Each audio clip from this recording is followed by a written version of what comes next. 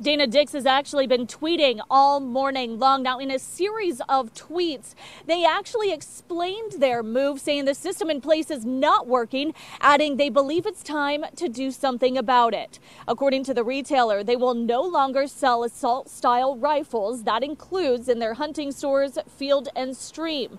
They will also no longer sell guns to customers under the age of 21, and they will no longer sell high capacity magazines.